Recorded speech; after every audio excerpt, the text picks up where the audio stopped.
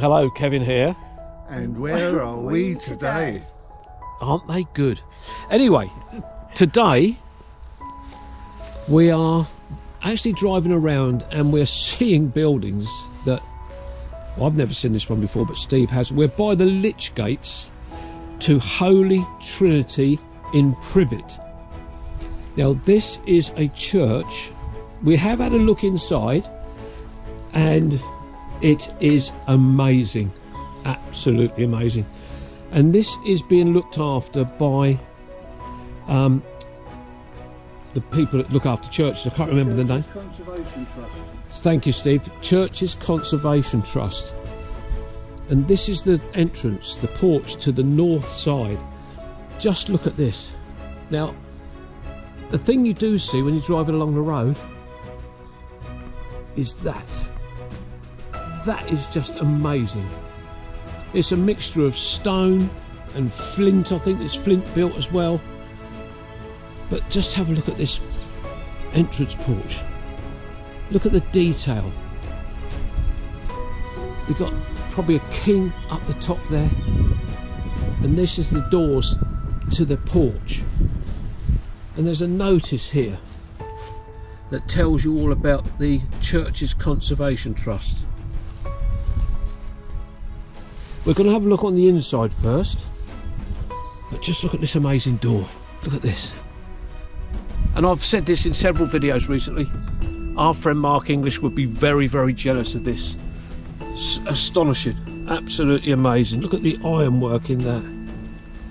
We're gonna we're gonna head on in now, and uh, this is a Victorian church, as it happens. Yeah, it's built it's built between 1876 and 1878 at a cost of £22,000, would you believe? Yeah, Which would have been a lot of money in those days. absolutely. Um, but it was replacement of a small medieval building, um, which obviously I don't know why it went. But uh, yeah, there always was a church here, yeah, but this is I think it's just out in the middle of nowhere. it is, isn't it? It's huge, absolutely huge. Just look at this tree stump, and without a doubt, this would have been an an old yew tree. Look at that.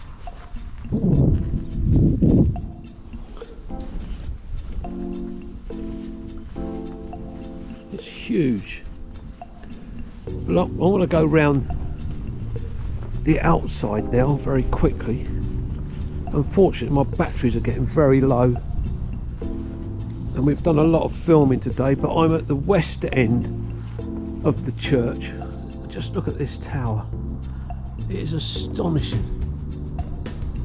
Look at that set against the blue sky. Isn't that wonderful? So I'm going to head round this way to the south side of the church. Try and fit in as much as I can from this side to avoid the snowdrops. It's under a tiled roof, but predominantly stone and flint.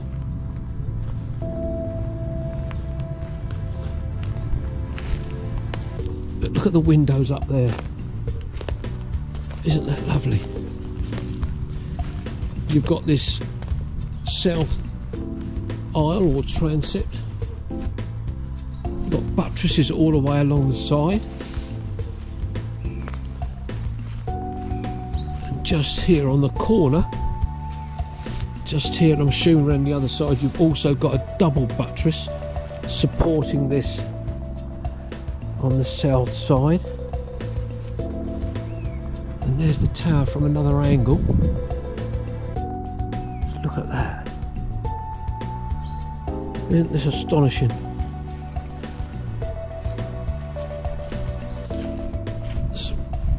headstones and gravestones all over the place here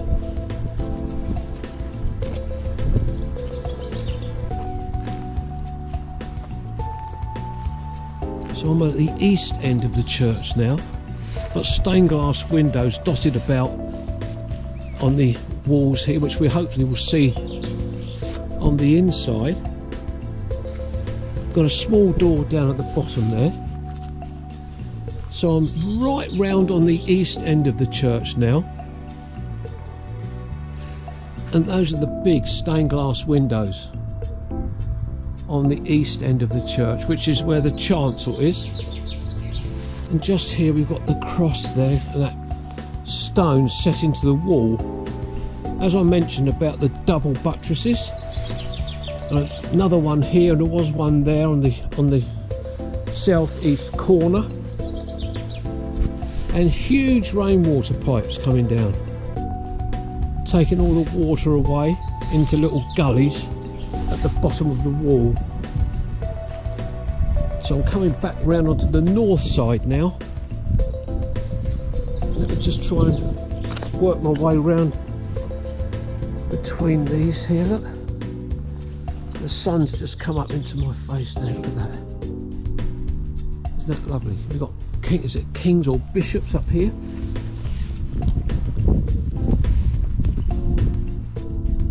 Between the two windows, there one is playing an, a harp. Well, I've come back round to the south side of Holy Trinity, and just beside me is actually a beacon. Just there, look at that. But these are the views from Holy Trinity at Privett. Isn't that wonderful? Look at this. I'll pan round. Away to my right hand side, I've got two buzzards swooping around above the fields.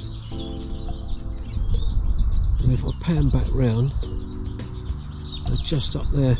Well, this camera won't pick them up, unfortunately.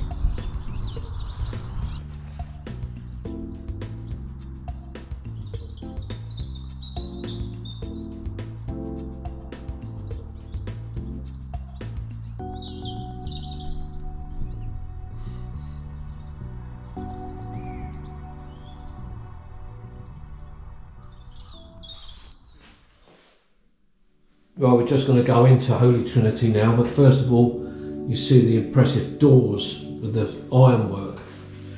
We've got no information about in here at all, so it's really a question of me winging it a bit and telling you as I see it. And just in front of me, uh, at the west end, near the west end door, is the font, and it's on uh, columns which look as if they may be marble on a large stone plinth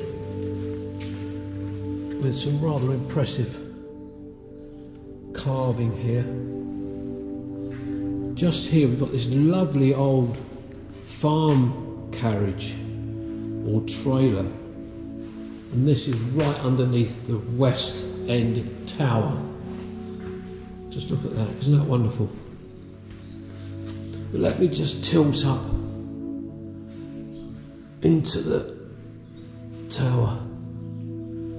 And this is the window above the west end door, which is a beautiful stained glass window. And it's all stone inside. The walls are stone, the columns and pillars, they're all stone. So I'm in the nave of the church now, and, and on the ends of each arch you've got a grotesque depicting um, different different people.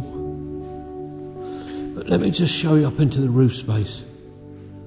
Look at that, isn't that astonishing? Look at the timber in that roof. And we've got one, two, three, four arches on either side in the in the nave. The lovely stained glass windows along the north aisle. And if I pan round onto the south aisle or south transept, we've got similar to what we saw earlier on knights um, with their swords or their, their, their staffs. This one looks like it might be somebody from the crusade just here. And his name is Godfrey. I can't pronounce that. Bon Bouillon? This one here is Remember in the Lord John Sanctuary Nicholson, or Nicholson possibly, uh, 19th of May 1863 to 21st of February 1924. Um, and there's another one here. It says three brothers, Clement, uh, Octavius, Edward, and Nicholson. 7th of August 1874 to 4th of January 1938. You've got this plaque on the wall here. Uh, to the glory of God and remembrance of Geoffrey Maule Nicholson, Captain DCO Hampshire and Isle of Wight Artillery Militia, who lost his life during July the 12th, 1901, at the age of 29, in the effort to save the life of one of his workmen. This tablet is erected by his brother officers, past and present, as a token of their affection and respect. He counted not his life dear unto himself. So let me just go along further along the south aisle. There's another plaque there to William Nicholson. And another one just here. It's very difficult to read because the lighting in here is not very good at all.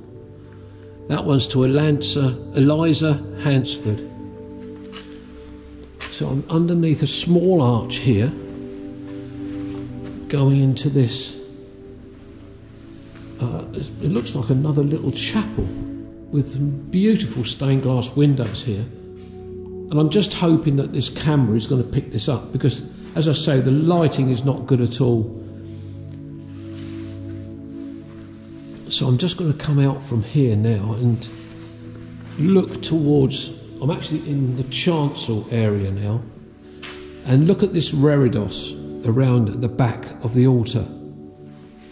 That is absolutely stunning. It's it's plain stone, carved stone, and we've got I think different angels along the top here on either side, and you've got the sedilia seats either side of the altar got three here and we've got two, three on the other side. Rather impressive. Again, as, as we mentioned earlier on, this is a Victorian uh, church, but it is rather lovely inside. The ceilings are incredibly high, but look at this. This is mosaic stonework here. around the, the front of the altar and again to the sides and behind just below where the reredos is there. I haven't seen a piscina or an aumbry in, in this church.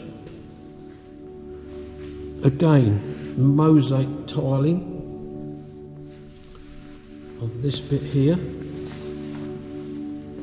Choir um, stalls here to the left and right. We have a stone um, pulpit. Again, beautiful carving with columns of look like marble there, and an angel just here. Let me just move round. That is rather lovely. Let me just look back along the north aisle. As you can see, it's all stonework everywhere, on, on all the walls, the columns.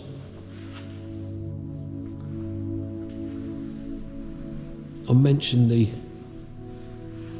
the heads and faces of the men at the ends of the arch curves. I would like to see what's on the other side actually, to see if there's anything that's the same. No, it's not. It just looks like it's a possibly a rose.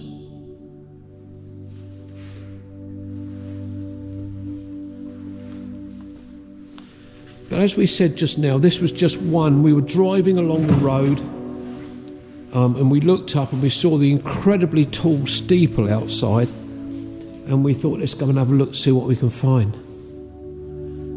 But the chancel area is stunning, absolutely beautiful. Just look at that. Lovely. Just in front of us, we've got these information boards. This says Privett's early history, Privett's shops, pubs, and trades. And then there's some other ones on this side. Oh, Nicholson's Gin.